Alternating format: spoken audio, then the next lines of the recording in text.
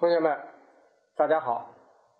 今天咱们继续讲解《汉书·叔孙通传》。上次讲到，殿下郎中夹壁，壁数百人。下边一句：“功臣列侯诸将军军力以次陈西方东向。”这个。东后边是乡村的乡的繁体字儿，但是在这儿呢，就通那个方向的向，啊，就是东向呢，就是朝向东，面向东的意思。功臣列侯诸将军军吏啊，这些都比较好懂啊。军吏呢是指低于将军的军官。这些人呢，都按照次序，按照什么次序呢？就按照他们官阶高低的次序。陈西方就是在西边的台阶上站立，啊，面向东。文官丞相以下，陈东方西向，啊，这比较好懂。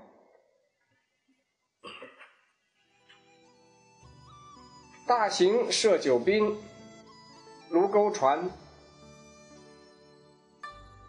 大行，啊，在这儿是指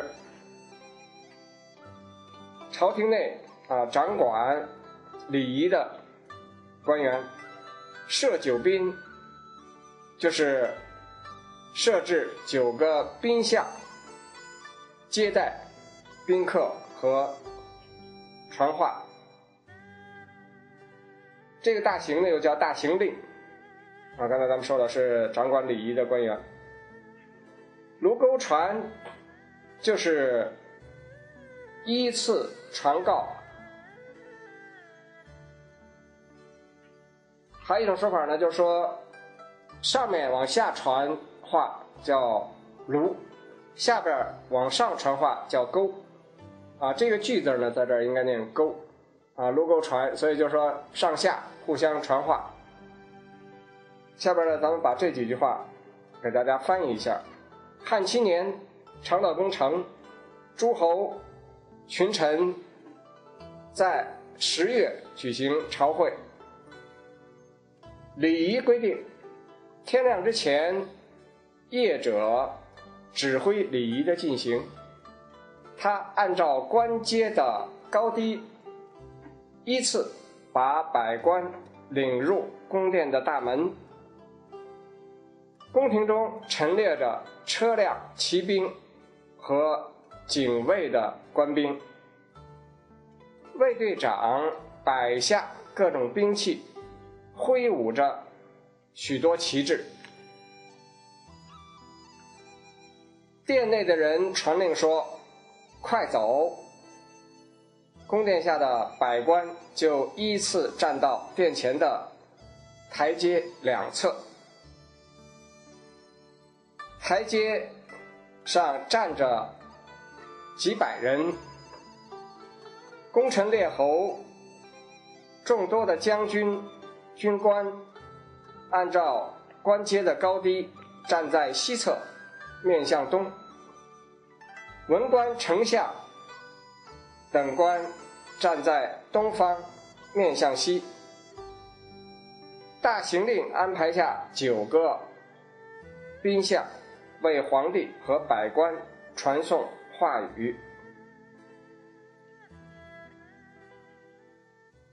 下边，于是皇帝撵出房，啊，这个撵，大家看呢，它下边有一个车。上面的是两个夫，这个夫呢应该代表人，所以这个辇，它的本意就是指人拉的车。秦汉以后，大多呢用于专指皇帝乘坐的车，叫辇。啊，所以这个字呢，咱们考虑一下，从六书考虑的话，啊，它也是会意字。啊，前面两个人，后面一个车，啊，所以它指人拉的车。后来呢是特指皇帝坐的车，在这儿呢就是指的皇帝坐的车。百官执戟传景，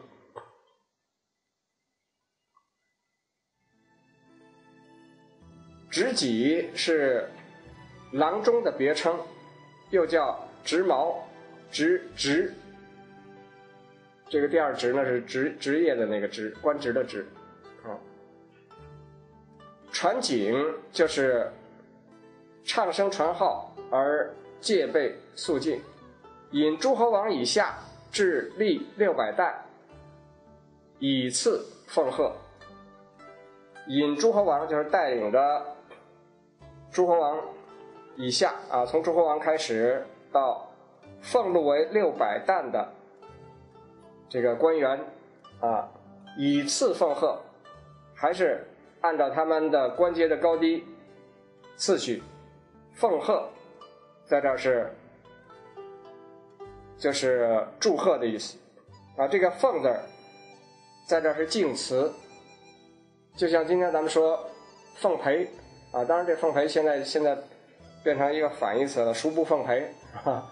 但是它这个“奉陪”呢，最早的意思呢，就是还是表示尊敬，所以这“奉”字是敬词，这个“奉贺”就跟那“奉陪”的那个“奉”的意思一样，是敬词。所以后边呢，它这个“奉”字呢没有实际意思啊，主要后边是祝贺。自诸侯王以下，莫不震恐肃静。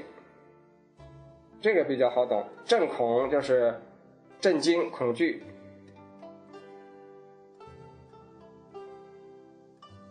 这一句可以这么翻译：在这个时候，皇帝的车。才从房中出来，百官由于郎中高声唱景而戒备肃静。从诸侯王到俸禄为六百担的官员，都被依次带到皇帝面前，恭敬的庆贺。从诸侯王以下的百官，都感到震惊恐惧，而毕恭毕敬。下边治礼毕，进服。治礼毕呢，就是说这个整个的礼仪都结束了。进服，这个服字呢，在咱们现代汉语里呢，就是趴下了。是吧？但是这个地方它可不是趴下了啊，而是身体向前倾的意思啊，用身体向前倾来表示恭敬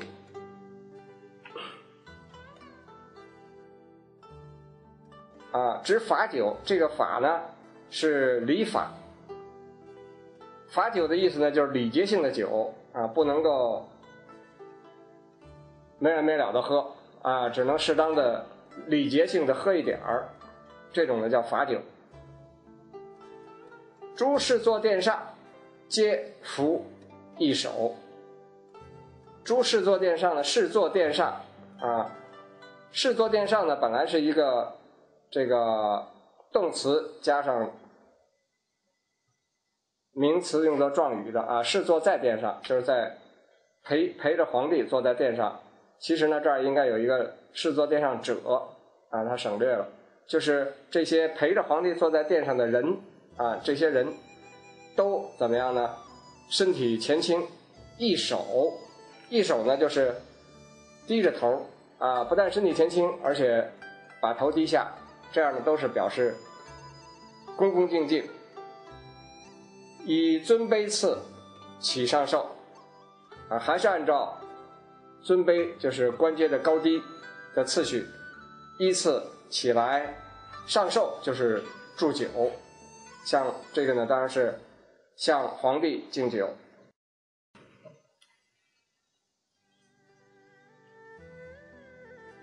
商酒行，业者言罢酒。商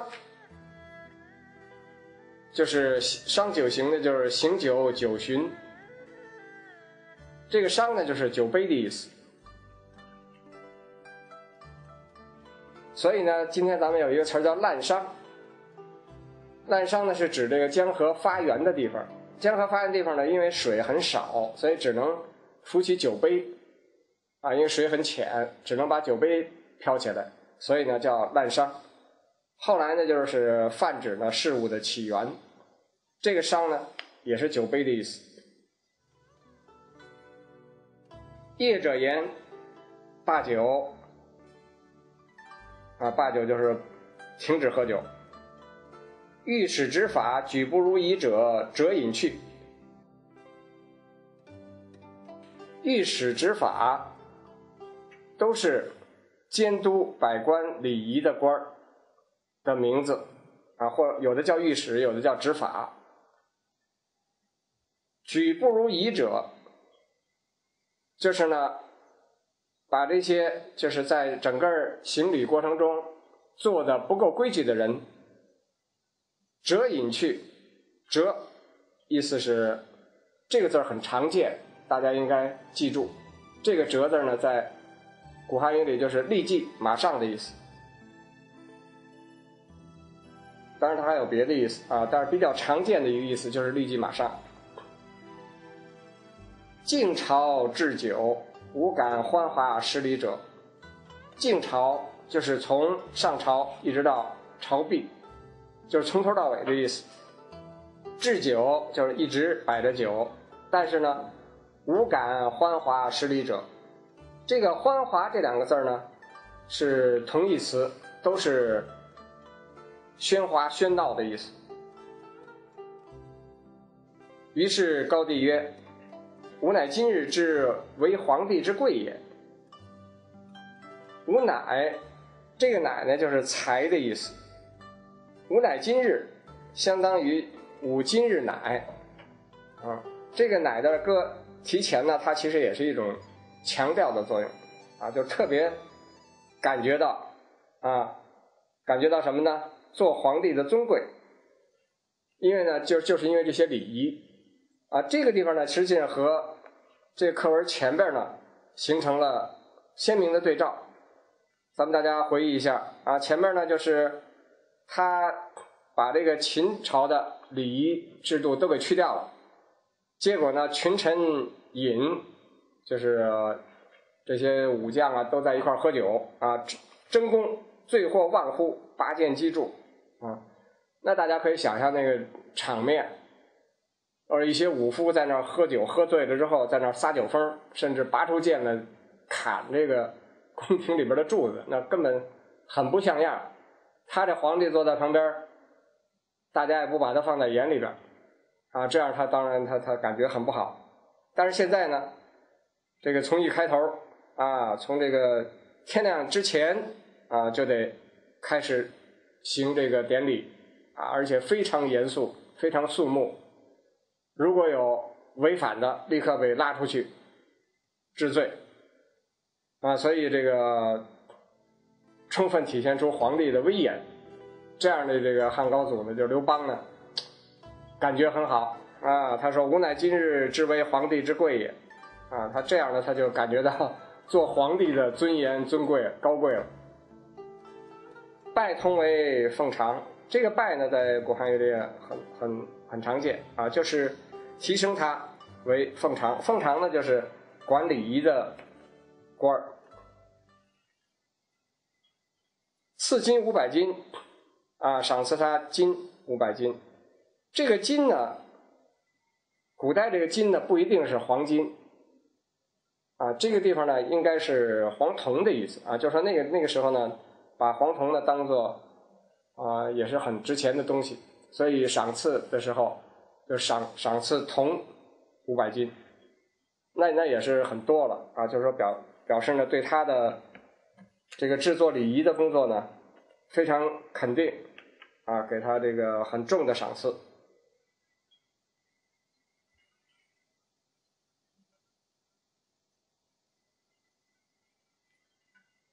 下面呢，咱们把最后几句给大家翻译一下。到仪式举行完毕，百官都身体前倾，这时在他们面前摆上罚酒，那些陪皇帝坐在殿上的高官也都身体前倾，低着头，按照尊卑次序站起来敬酒。多次敬酒之后，业者宣布停止喝酒。这时，御史和执法指出刚才不合礼仪的人，并且立刻把他们带走。这样，直到朝会结束，百官面前都摆着酒，但是再也没有敢于喧哗。失礼的人。这个时候，汉高祖说：“我今天才知道，做皇帝是何等尊贵啊！”他立刻把叔孙通提升为奉常，赏赐他金五百斤。下一段。通殷进曰：“诸弟子如生，随臣久矣，与共为仪，愿陛下观之。”高帝细以为郎。通出，皆以五百金赐诸生。诸生乃喜曰：“叔孙生圣人之当世物。”这个呢，咱们又可以回忆一下前边课文里边啊，就是在很早的时候呢，这些。儒生呢就对这叔孙通有意见啊，说你啊弟子皆世心数年啊，进不进臣等专言大华何也？啊，就是说你只推荐那些武夫啊，甚至以前做强盗的人，而对我们不不不进行提拔啊。叔孙通就是当时就对他们说呢，说你们不要着急啊，说现在是打仗的时候用不上你们啊，所以没法提升你们，等到时候呢，我自然会提升你们。这个时候呢，他就等于是实现了他当时说的这个诺言啊。通阴进曰：“这个阴在这儿是趁着的意思啊，就是趁机啊，可以活译为趁机啊。”晋曰就是对皇帝了啊，对皇帝说：“诸弟子如生，随臣久矣。”这好懂，就是跟着我啊，这些弟子啊和这个读书人呐，都跟着我很长时间了。与共为仪啊，就是和我一块儿为仪，就是制定了这些礼仪制度。愿陛下观之啊，就是希望陛下您呢，对他们呢也都给予封官高帝戏以为郎啊，这刘邦呢，正好他当时高兴啊，所以这个叔孙通也很会找时机啊，趁着他高兴说这话，这样那个刘邦一高兴呢。就把这些人都给提升为了郎，啊，郎是也也是这个官名，啊，是侍从之职，啊，就是皇帝周围的侍从。通出，皆以五百金赐诸生，啊，不但如此呢，他还把皇帝赏赐开的，赏赐给他的金五百金，就刚刚说的，可能是五百斤黄铜啊，或者是啊之类的这个金属啊。把这些呢都赐给了这些，就是说他手下的这些读书人和他的弟子，所以这些人呢都特别高兴啊。叔孙生圣人之当世物啊，这比较好懂。这段可以这么翻译：叔孙通趁机进言说，这些弟子和儒生跟随我已经很久了。和我共同制定出礼仪制度，希望陛下封他们为官。刘邦把他们都封为郎。叔孙通出来后，又把赐给他的五百金全部分赐给朱生，于是朱生高兴地说：叔孙先生真是圣人，他非常识时务。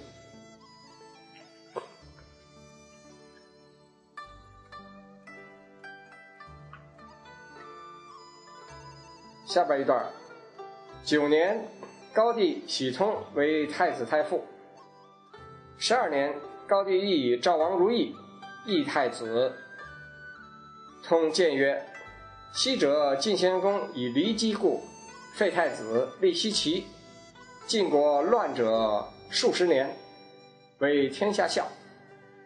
秦以不早定扶苏，胡亥诈立，自始灭嗣。此陛下所亲见。今太子仁孝，天下皆闻之。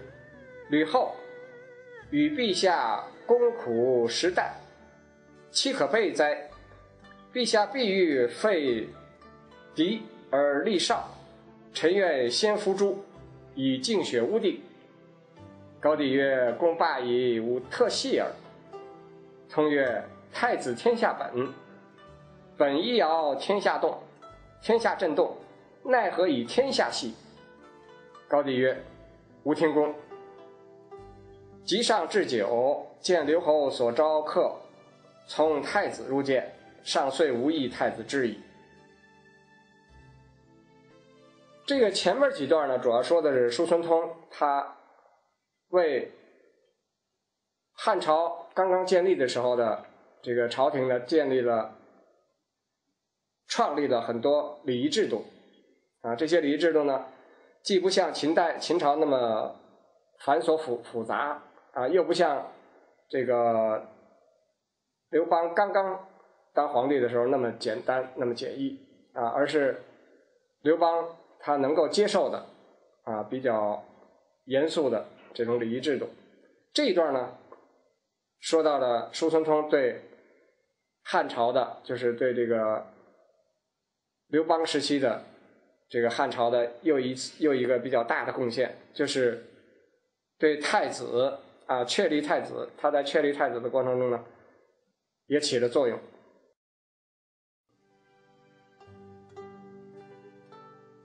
九年，高帝喜称为太子太傅。这个喜呢，咱们都知道，这个喜呢，在现代汉语里边是迁徙的意思，啊，在这个地方是提升的意思。太子太傅就是太子的老师。十二年，高帝欲以赵王如意义太子。赵王如意是。汉高祖刘邦的儿子，他不是吕后生的，是戚夫人所生的。高祖九年的时候呢，把这个赵王如意封为赵王，啊，把这如意封为赵王。到了这个十二年的时候呢，被吕后毒死了。太子呢，就是汉惠帝，啊，他是吕后所生的。所以按照这个制度来说呢，这个太子呢就应该是啊，因为吕后是啊他的这个刘邦的这个第一夫人，而且呢汉惠帝的年龄也最大啊，所以是嫡长子，应该是嫡长子继承啊庶子分封，按照以往的制度。但是这个地方呢，由于这个汉高祖刘邦呢特别喜欢这个戚夫人。所以呢，他就想把戚夫人的儿子如意赵王如意呢立为太子。这个时候呢，这个叔孙通他就劝说啊，通谏曰，就是他劝说刘邦：昔者晋献公以骊姬故废太子，立奚齐。这个是怎么回事呢？啊，就是春秋的时候，晋献公宠爱骊姬。他听信骊姬的谗言，而废了原来的太子申生，而立骊姬的儿子奚齐为太子。结果呢，由此呢就引起了这个晋国的内乱。申生最后呢自杀。公子重耳啊，就是咱们在讲这个《左传》的时候曾经。不止一次的提到过啊，公子重耳和夷吾都出逃。这个事情呢是公元前六五六年，到六三年六年呢，公元前六三六年呢，重耳呢才返国，呃，返回晋国，呃，继君主之位，成为了晋文公，啊，晋国呢才安定下来。所以这个事情呢，可以说呢是一个历史的教训，就是说他废嫡立庶，啊，就是把嫡长子废掉，而把别人的孩子啊比较小的儿子立为太子，啊，是什么样的恶果？这个他先举了这么一个例子，下边他又举一个例子，就是秦朝的例子。因为秦朝这个例子呢很近啊，离这个啊刘邦是刘邦所亲建的啊。秦以不早定扶苏，胡亥诈立，自始灭四。秦朝呢，这个扶苏呢是长子啊，他应该把他呢立为太子。但是呢，由于这个扶苏呢，他这个经常给秦始皇提意见，所以秦始皇呢不喜欢他，所以没有把他尽早的定为太子。结果呢，他的弟弟胡亥啊诈立，就是哦这个诈呢就是欺骗的意思啊，就是他却自己成为了这个把自己立为太子啊，这样呢也是。啊，自始灭四，就是自己呢造成了啊灭四。这个四呢本来是祭祀的意思，啊，就是说自己把自己的这个祭祀给灭掉了。这个祭祀呢主要指的就是就是等于是继承啊，就是一代一代的往下往下传啊，自己把自己自己的这个继承的关系给断了，是陛下所亲见啊，这是刘邦他所亲眼看到的。今太子仁孝，这个太子呢，指的就是这个汉惠帝。天下皆闻之，啊，就太子非常啊，又仁德又孝顺啊，天下都知道。吕后与陛下共苦时代，这个共苦时代，可以理解为就是共同的攻克辛苦的事，而吃无味的食物。啊，食蛋这个淡呢，通这个三点水儿，就是咱们今天说的那个淡而无味的那个淡，啊，就是没有没有味儿的食物，啊，这是《汉书》里边的注啊，就是共同攻克辛苦的事儿而吃无谓的食物，就是说，就是今天咱们说这个同甘共苦的意思啊，就是他们一块儿经历了很多苦难，岂可备哉啊？就是说不能够，难道？这个这个齐呢，通那个妻有此理的妻啊，难道可以背叛他吗？啊，意思是说，你也不应该背叛吕后。陛下必欲废嫡而立少，臣愿先伏诛，以净净血污地。这个废嫡啊，必欲废嫡啊，必还是一定啊？欲是想废嫡而立少啊，就是。废嫡长子而立年轻的，臣愿意先伏诛啊！我就要求啊，我希望我先伏诛，伏诛是受死刑啊！我就先去死，以净血污地。这个污呢，本来是弄脏的意思啊，在这儿可以活译为染红啊，就是用我的一腔热血来染红这个地。这个地方呢，大家也可以回忆一下前边啊。前面呢，这个叔孙通呢，好像他有点玩世不恭的感觉啊。但是在在这个地方，大家看呢，他碰到这个很严肃的问题，就是说这个，因为古代这立太子呢，其实就是一个接班人的问题啊。这个对于一个国家来说，特别对于一个岁数很很大的这个皇帝来说，那是非常重要的事情。如果太子立不好的话，那就会确实会引起国家的混乱，啊，所以这关系到汉汉朝的这个整个天下啊，刘氏的天下，所以呢，这个叔孙通碰到这种大事呢，他也是非常严肃，啊，甚至他说呢，这个先伏诛啊，就是用用用死来向这个刘邦来劝谏。好，这节课咱们就先讲到这儿。